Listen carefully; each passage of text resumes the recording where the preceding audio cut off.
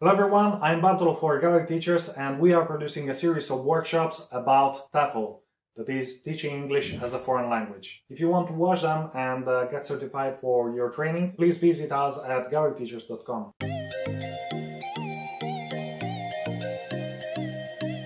Our guest for today is one of the most respected trainers in the EC industry, and I'm fortunate enough to consider him a colleague. In fact, he is one of the authors of uh, our workshops, and if you have been in this industry for a while, it's very likely that you already know him. Thom, thank you for being with us. My first question is for the newly qualified teachers. We finished our TEFL course we took our qualification. Gallery Teachers has an internship program to get uh, practical experience teaching online. But let's say that we have studied with another company. Now we have our qualification, but no practical experience. So what's next? Um, how do we find a job? I think the first step when we qualify as teachers is to make sure that we teach, which sounds very stupid, but it's very easy to get the qualification and then life gets in the way and you're doing other things and suddenly it's two years ago that you did the qualification, you're not sure if you can still teach, if you've got the confidence. So I always say, first tip, get out and teach. And that could be um, getting out there in terms of going to a job for one, you know, one year or longer. Um, or it could be doing a short course. So what I always think is really great is doing, for example, a summer course um, where you go along and you teach for sort of six, eight weeks. And it's a really great place to kind of cut your teeth because it's very intensive. Um, and if you make a mistake, you're not there for one year, you're only there for six weeks, so it's okay. Even better, the students that come along normally only stay for about two weeks. So if you make some terrible error, two weeks later they're gone and you get a new lot. So it's kind of all right. So it's a great place to learn and cut your teeth and make mistakes. Um, it's also a lot of fun. You know, I mean, I sort of grew up professionally working in summer schools and I love it.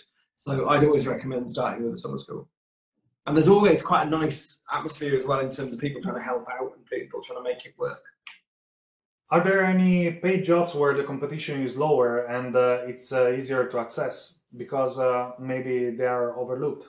Um, there are a lot of jobs you can do where you just can um, get in and have access to students in, in one context or another, which may not be high paying jobs, may not be what you ultimately want to do with your qualification, but again, they're a really great place to kind of cut your teeth, to kind of get your get your your feet on the ground. And you know, whatever you get paid is a lot better than nothing. I always feel. I mean, I'm one of those people who's always pathetically grateful to have a job. So, um, but there are situations and there are vacancies out there, particularly online, for teachers who will do, for example, part of coursework for students or coursework with students, uh, don't pay huge amounts of money, but they're a really good source of experience. And kind of mentoring, that kind of stuff as well, which is not teaching, obviously, and yet it does give you that experience of being in front of people and being with people and helping them uh, access education.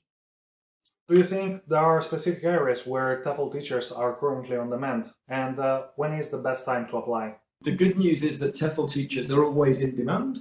The bad news is that when you start in the year, will be the kind of atmosphere that you walk into because a lot of teaching jobs start predictably in September uh, when the new term and the new academic year starts in most of the world.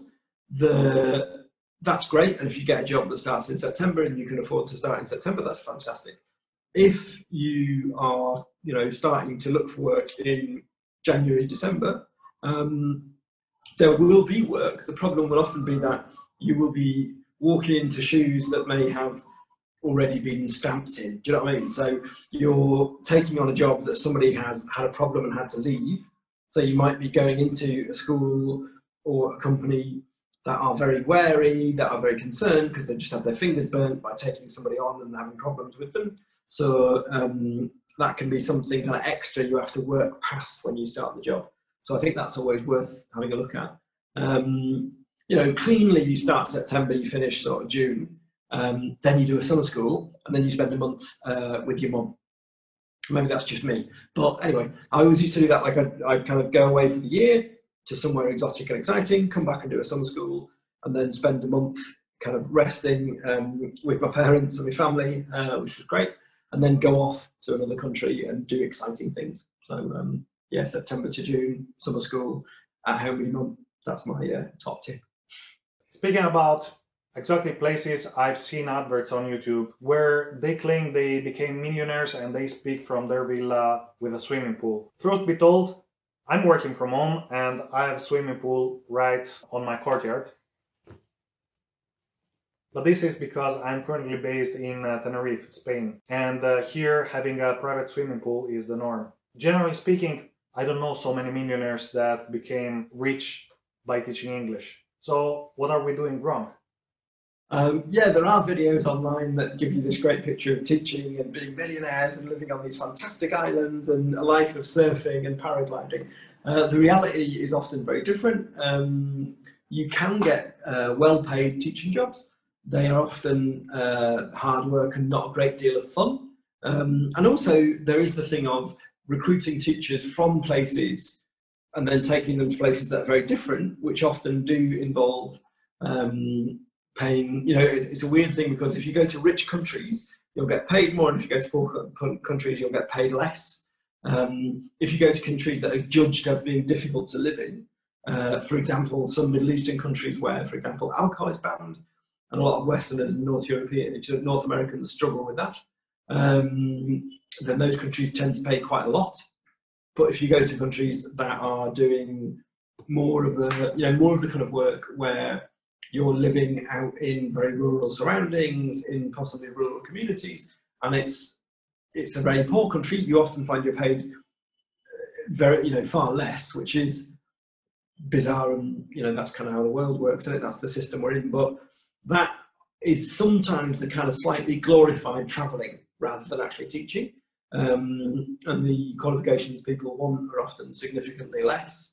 Um, that's kind of changing, and people are understanding the fact that getting somebody from a country that speaks a language is no guarantee the person can teach. And that's why qualifications are important. And that's part of what we've done with Gallery Teachers, really. Um, if you check the links below, our qualifications are about making sure that you as a teacher do know what you're actually doing and do know what you're getting into. So, how much should we expect to be paid?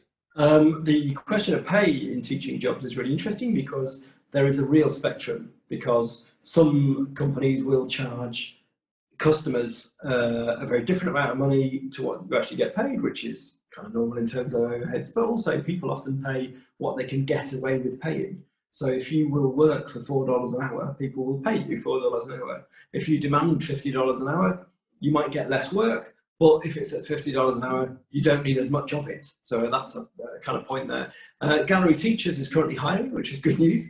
Uh, we've got a huge raft of people coming in and doing webinars and teaching, uh, training CPD for teachers those people obviously need the right qualifications and need to be the right people, but they can earn up to, you know, 100, 180 pounds uh, for doing those webinars. Um, if you're interested, check out the link below, see what you think. Let us know. Throw your hat in the ring. I'm checking our forum because uh, our members submitted their questions for you for this interview. Um, you already replied to this one. This is similar. Uh, Okay, this is a good one. Can a school or an agency refuse my qualification and force me to take their course in order to be considered for the available positions? And also, I have something similar for, for us. Do I need to take your TEFL course in order to be considered for your available positions?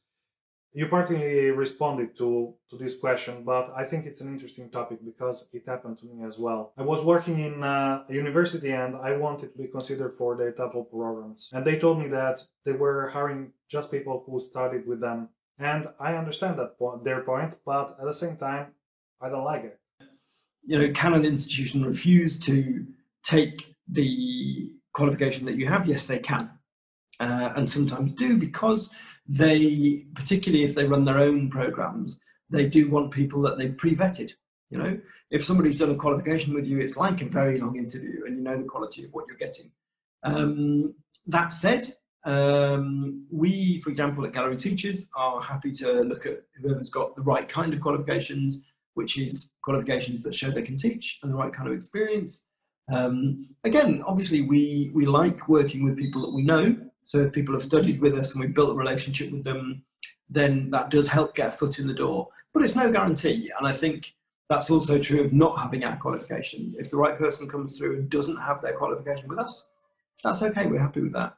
Um, you know, it's, it's a difficult one because obviously institutions can decide what they want to do and who they want to accept. That's the nature of the job market.